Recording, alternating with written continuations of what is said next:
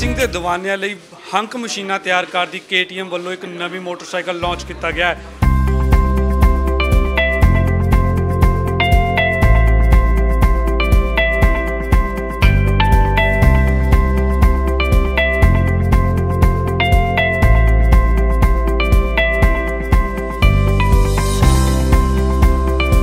KTM 390 adventure ਉਹੀ motorcycle ਹੈ ਜੋ ਤੁਹਾਨੂੰ ਹਿਮਾਲਿਆ ਦੀਆਂ ਵਾਦੀਆਂ ਤੱਕ ਲੈ ਕੇ ਜਾਏਗੀ।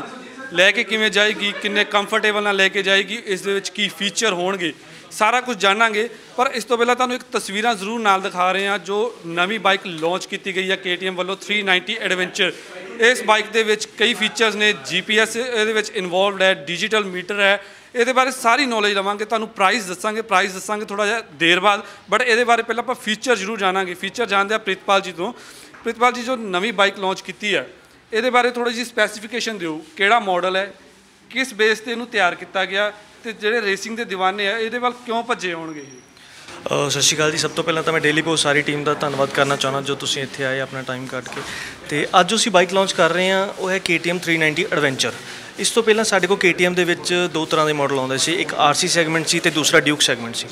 RC ਸੈਗਮੈਂਟ ਦੇ ਵਿੱਚ ਟਰੈਕ ਬਾਈਕ ਮੰਨਿਆ ਜਾਂਦਾ ਜੋ ਟਰੈਕ ਤੇ ਰੇਸਿੰਗ ਲਈ ਮਸ਼ਹੂਰ ਸੀ। ਤੇ ਜੋ ਡਿਊਕ ਸੈਗਮੈਂਟ ਸੀ ਉਹ ਸੀ ਸਟਰੀਟ ਬਾਈਕ ਜੋ ਅੱਜ ਆਪਾਂ ਐਡਵੈਂਚਰ ਤੀਸਰਾ ਸੈਗਮੈਂਟ ਲਾਂਚ ਕਰ ਰਹੇ ਹਾਂ, ਇਹ ਸਿਰਫ 390 ਦੇ ਵਿੱਚ ਆ ਰਿਹਾ 390 ਸੀਸੀ ਦੇ ਵਿੱਚ। ਤੇ ਇਹ ਕੰਬੋ ਆ ਉਹਨਾਂ ਦਾ। ਇਹ ਸਟਰੀਟ ਬਾਈਕ ਵੀ ਹੈ, ਇਹ ਰੇਸਿੰਗ ਬਾਈਕ ਵੀ ਹੈ ਟਰੈਕ ਬਾਈਕ ਵੀ ਹੈ। ਤੇ ਸਪੈਸੀਫਿਕਲੀ ਉਹਨਾਂ ਵਾਸਤੇ ਆ ਜੋ ਲੰਬੇ ਟੂਰਸ ਕਰਨਾ ਚਾਹੁੰਦੇ ਆ, ਜੋ ਟਰੈਵਲਰ ਨੇ, ਜੋ ਬਲੌਗਰਸ ਨੇ, ਜਾਂ ਉਹ ਲੋਕ ਜੋ ਕਰਨਾ ਚਾਹੁੰਦੇ ਆ, ਪਰ ਉਹਨਾਂ ਕੋਲ ਉਸ ਤਰ੍ਹਾਂ ਦੀਆਂ ਬਾਈਕਸ ਨਹੀਂ, ਹੁਣ ਹਿਮਾਲਿਆ ਜਾਣਾ ਚਾਹੁੰਦੇ ਆ, ਪਰ ਉਹਨਾਂ ਕੋਲ ਉਸ ਤਰ੍ਹਾਂ ਦੇ ਬਾਈਕਸ ਨਹੀਂ ਗੇ ਇਹ ਉਹਨਾਂ ਲਈ ਜਾਂ ਜਿਹੜੇ ਵੱਡੇ ਬਾਈਕਸ ਖਰੀਦਣ ਦੇ ਚਾਹਵਾਨ ਨੇ ਬਟ ਉਸ ਨੂੰ ਅਫੋਰਡ ਨਹੀਂ ਕਰ ਸਕਦੇ, ਉਹਨੂੰ ਅਫੋਰਡੇਬਲ ਬਾਈਕ ਆਪਾਂ ਲਾਂਚ ਕਰ ਰਹੇ ਹਾਂ ਅੱਜ। ਅਕਸਰ ਜੋ ਨੌਜਵਾਨ ਨੇ ਲੌਂਗ ਰੂਟ ਤੇ ਜਾਣਾ ਪਸੰਦ ਕਰਦੇ ਨੇ ਲੇਹ ਲਦਾਖ ਦਾ ਸੁਪਨਾ ਬਹੁਤ ਲੋਕਾਂ ਦਾ। ਅਕਸਰ ਦੇਖਦੇ ਨੇ ਕਿ ਉਹ ਰਾਇਲ ਐਨਫੀਲਡ ਜਾਂ ਬੁਲਟ ਦੀ ਜੋ ਮਸ਼ੀਨਸ ਨੇ ਉਹਨਾਂ ਨੂੰ ਯੂਜ਼ ਕਰਦੇ ਨੇ। ਰਾਇਲ ਐਨਫੀਲਡ ਦੀ ਮਸ਼ੀਨ ਹੈ ਹਿਮਾਲਿਅਨ ਉਹ ਵੀ ਇਸੇ ਟਰੈਕ ਨੂੰ ਰੱਖ ਕੇ ਬਣਾਈ ਗਈ ਸੀ। ਇਹ ਮਸ਼ੀਨ ਉਸ ਤੋਂ ਕਿਵੇਂ ਵੱਖਰੀ ਹੈ? ਇਹ ਬਾਈਕ ਉਸ ਨੂੰ ਕਿਵੇਂ ਟੱਕਰ ਦੇਗੀ ਉਸ ਤੋਂ ਕਿਵੇਂ ਬਿਹਤਰ ਹੈ?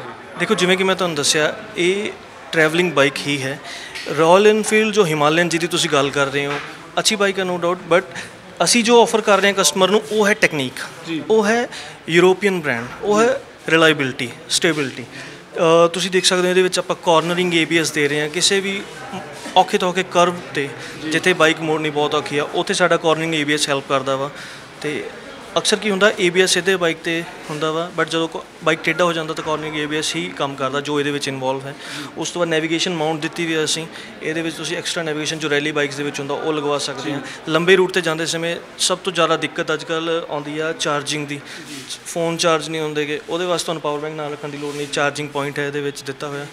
ਠੀਕ ਹੈ? ਲਗੇਜ ਦੇ ਲਈ ਲਗੇਜ ਬੈਗਸ ਇਨਵੋਲਵ ਹੋ ਜਾਣਗੇ ਅਸੈਸਰੀ ਦੇ ਵਿੱਚ ਦਾ ਪਾਰਟ ਨੇ ਅਸੈਸਰੀ ਦੇ ਵਿੱਚ ਪਾਰਟ ਆਏਗਾ ਲਗੇ ਦੀ ਜੋ ਬੈਗਿੰਗ ਹੈ ਕਿਉਂਕਿ ਅਕਸਰ ਹੀ ਜਦੋਂ ਲੌਂਗ ਰੂਟ ਤੇ ਲੋਕ ਜਾਂਦੇ ਨੇ ਸਭ ਤੋਂ ਵੱਡਾ ਕੁਐਸਚਨ ਇਹੀ ਹੁੰਦਾ ਕਿ ਸਮਾਨ ਕਿੱਥੇ ਰੱਖਣਾ ਹੈ? ਨੈਸੈਸਰੀ ਕਿੱਥੇ ਰੱਖਣੀ ਹੈ? ਕਿਉਂਕਿ ਬੈਕਪੈਕ ਹੁੰਦੇ ਨੇ ਬਹੁਤ ਹੈਵੀ ਸਮਾਨ ਹੁੰਦਾ ਹੈ।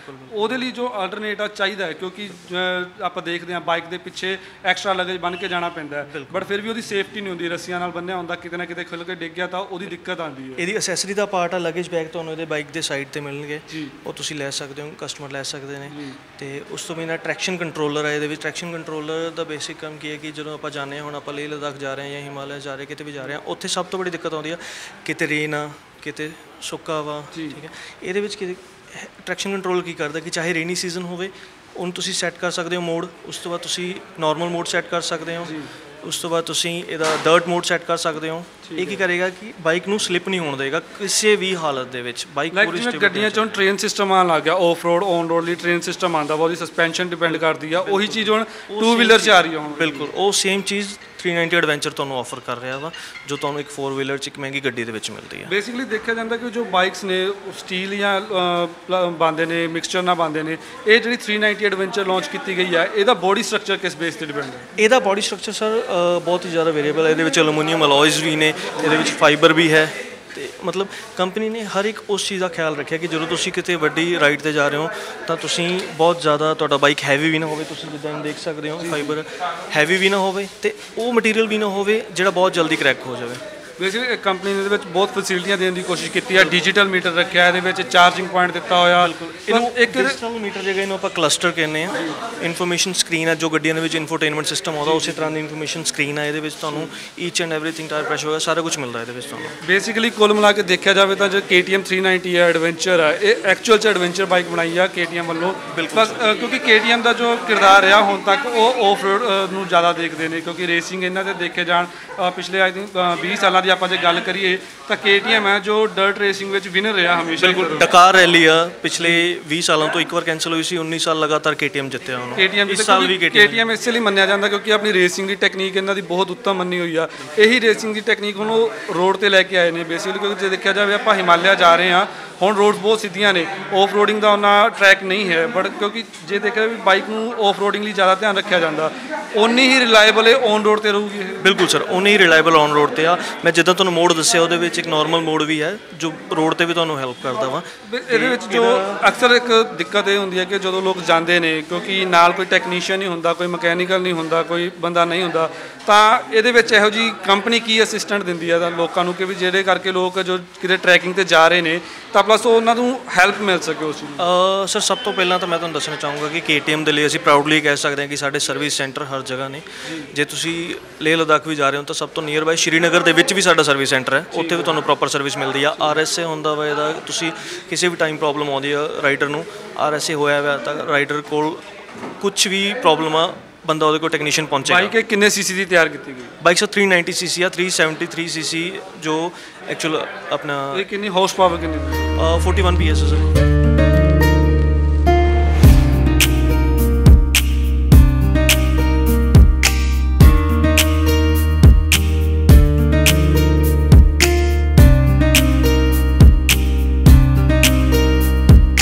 Powerful company machine ਬਣਾਈ ਗਈ ਹੈ ਇਹ। ਐਕਚੁਅਲ ਸਵਾਲ ਹੈ ਜੋ ਹੁਣ ਇਸ ਬਾਈਕ ਦੀ ਜੋ ਲੋਕਾਂ ਨੂੰ ਔਨ ਰੋਡ ਕਿੰਨੀ ਪ੍ਰਾਈਸ ਮਿਲ ਸਕ ਪਾਏਗੀ ਇਹਦੀ? ਔਨ ਰੋਡ ਮੈਂ ਤਾਂ ਇਹ ਕਹੂੰਗਾ ਕਿ ਜੋ دیਵਾਨੇ ਨੇ ਇਸ ਚੀਜ਼ ਦੇ ਉਹਨਾਂ ਦੇ ਬਹੁਤ ਅਫੋਰਡੇਬਲ ਪ੍ਰਾਈਸ ਆ। ਐਕਸ ਸ਼ੋਰੂਮ ਲੁਧਿਆਣਾ 2.99 ਲੱਖ ਜੀ 2.99 ਲੱਖ ਐਕਸ ਸ਼ੋਰੂਮ ਪ੍ਰਾਈਸ ਆ। ਇਹ ਹਿਮਾਲਿਅਨ ਪਲੱਸ ਮੰਨਿਆ ਜਾਵੇ BMW ਆ ਬਜਾਜ ਹੈ ਉਹਨਾਂ ਤੋਂ ਡਿਫਰੈਂਟ ਕਿਵੇਂ ਹੈ ਸਰ ਉਹਨਾਂ ਡਿਫਰੈਂਟ ਹੈ ਸਭ ਤੋਂ ਪਹਿਲਾਂ ਤਾਂ ਯੂਰੋਪੀਅਨ ਬ੍ਰਾਂਡ ਆ। ਜੀ। ਯੂਰੋਪੀਅਨ ਬ੍ਰਾਂਡ ਜਿੱਦਾਂ ਤੁਸੀਂ ਜਾਣਦੇ ਹੋ ਯੂਰੋਪੀਅਨ ਬ੍ਰਾਂਡਸ ਮਸ਼ਹੂਰ ਹੀ ਇਸ ਚੀਜ਼ ਲਈ ਹੁੰਦੇ ਆ ਕਿ ਆਪਦੀ ਸਟੇਬਿਲਿਟੀ ਆਪਦੀ ਰਿਲਾਇਬਿਲਿਟੀ ਲਈ ਮਸ਼ਹੂਰ ਹੁੰਦੇ ਆ ਯੂਰੋਪੀਅਨ ਬ੍ਰਾਂਡਸ ਤੇ ਦੂਸਰਾ ਜੋ ਕੰਪਨੀ ਆਫਰ ਕਰਦੀ ਆ ਉਹਦੇ ਵਿੱਚ ਹੈ ਟੈਕਨੀਕ ਜੋ KTM ਤੋਂ ਬਿਨਾਂ ਹੋਰ ਕਿਸੇ ਕੋਲ ਨਹੀਂ ਹੈ। ਜਿੱਦਾਂ ਕਿ ਮੈਂ ਤੁਹਾਨੂੰ ਟਰੈਕਸ਼ਨ ਕੰਟਰੋਲਰ ਕਾਰਨਿੰਗ ਏਬੀਐਸ ਸਾਰੀਆਂ ਚੀਜ਼ਾਂ ਦੱਸੀਆਂ ਹੈ। ਅਸੀਂ ਇਹ ਆਫਰ ਕਰਦੇ ਹਾਂ। ਇਹਦੇ ਨਾਲ ਤੁਹਾਡਾ ਜੋ ਸਫ਼ਰ ਆ ਬਹੁਤ ਹੀ ਆਰਾਮਦੇਹ ਹੁੰਦਾ ਵਾ ਬਹੁਤ। ਕਿਉਂਕਿ ਮੇਨ ਚੀਜ਼ ਹੀ ਇਹ ਚਾਹੀਦੀ ਹੈ ਜਦੋਂ ਵੀ ਬੰਦਾ ਕੋਈ ਲੰਬੀ ਰਾਈਡ ਤੇ ਜਾ ਰਿਹਾ ਉਹਨੂੰ ਕੰਫਰਟੇਬਲ ਉਹ ਚਾਹੀਦਾ ਹੈ। ਕਿਉਂਕਿ ਅਕਸਰ ਲੋਕ ਦੇਖਦੇ ਆ ਲੌਂਗ ਡਰਾਈਵ ਕਰਦੇ ਆ ਜਾਂ 1.5 200 ਕਿਲੋਮੀਟਰ ਵੀ ਜਾਣ ਤਾਂ ਬੈਕ ਪੇਨ ਬਹੁਤ ਹੁੰਦੀ ਆ। ਸਸਪੈਂਸ਼ਨ ਨਹੀਂ ਇਹਦਾ ਜ- ਸਹੀ ਜਵਾਬ ਦਿੰਦੀ ਹੈਗੀ।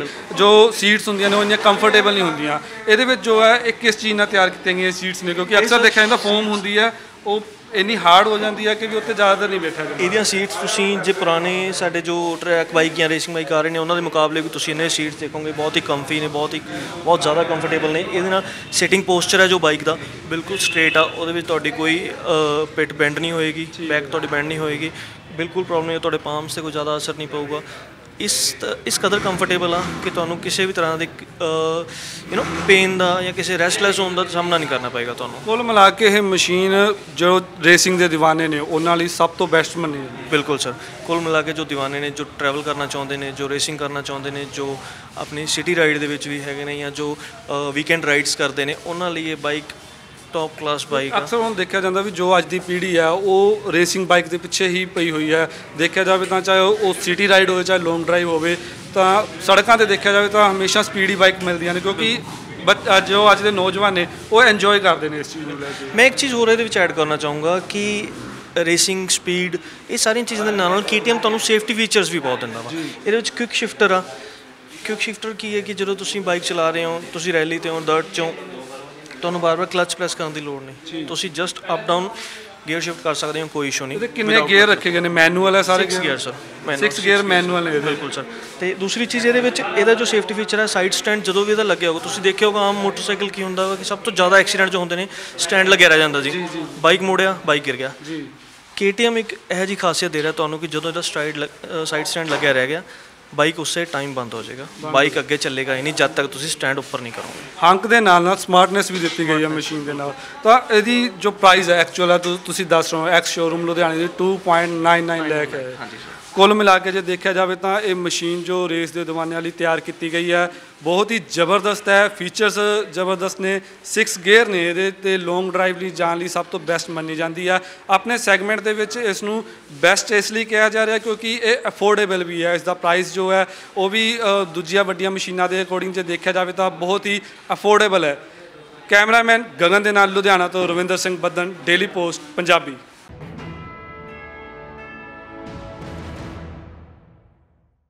ਸਤਿ ਸ਼੍ਰੀ ਅਕਾਲ। ਜੇ ਤੁਸੀਂ ਕੈਨੇਡਾ ਸਟੂਡੈਂਟ ਵੀਜ਼ੇ ਤੇ ਜਾਣਾ ਚਾਹੁੰਦੇ ਹੋ, ਪਰ ਆਇਲਸ ਵਿੱਚ ਓਵਰਆਲ ਤਾਂ 6 ਆ ਗਏ, ਇੱਕ ਵਿੱਚ 5.5 ਬੈਂਡ ਕਰਕੇ ਡਰਦੇ ਹੋ, ਜਾਂ ਕੈਨੇਡਾ ਦਾ ਸਟੂਡੈਂਟ ਵੀਜ਼ਾ ਰਿਫਿਊਜ਼ ਕਰਵਾ ਬੈਠੇ ਹੋ, ਜਾਂ ਸਟੱਡੀ ਗੈਪ ਜ਼ਿਆਦਾ ਹੋਣ ਕਰਕੇ ਸੋਚਦੇ ਹੋ ਕਿ ਕਿਤੇ ਰਿਫਿਊਜ਼ਲ ਨਾ ਆ ਜਾਵੇ, ਤੇ ਅੱਜ ਹੀ ਪਿਰਾਮਿਡ ਡੀ ਸਰਵਿਸਿਜ਼ ਨੂੰ ਮਿਲੋ ਔਰ ਕੈਨੇਡਾ ਜਾਣ ਦੇ ਆਪਣੇ ਸੁਪਨੇ ਨੂੰ ਸਾਕਾਰ ਕਰੋ।